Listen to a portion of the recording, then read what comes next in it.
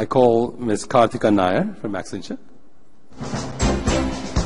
to present the award for the retail category winner, Bhargav Sridhar from NCET for his innovation KART with a K.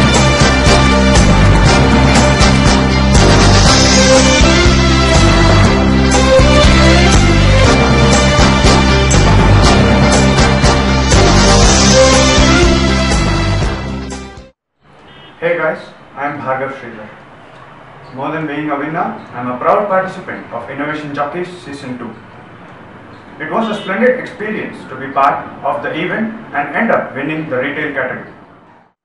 I designed an intelligent shopping trolley with added features.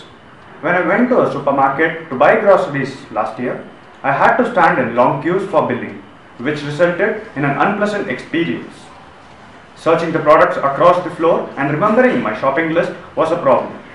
I also realized that there was a tremendous possibility of in-store marketing and advertisements. KART was born as a solution of these.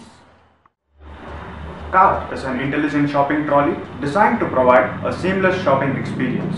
It houses an RFID barcode coupled device and an interactive display system. The display system provides an effective user interface that syncs shopping list from the user's phone, displays product information, offers and best buys, and even shows bill information. Products are scanned and are billed by the customer and it gives them a complete control of the billing process. Security factors such as cases where multiple products are put in without scanning or cases when the product has to be removed out has been addressed in the design. As an extension, I am presently working on making the system error-free and also incorporating payment options. I believe this can transform the way in which retail industry functions in India.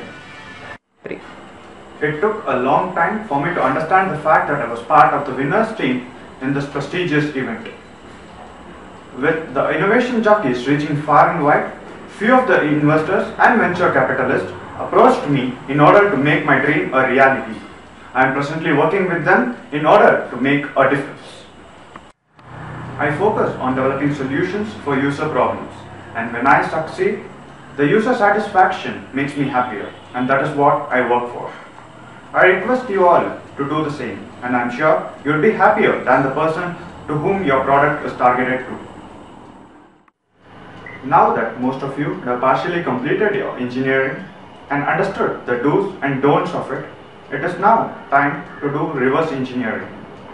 Identify the problem statement, identify where the user finds his problems in living his normal life and from there bring out a solution that would ease his life.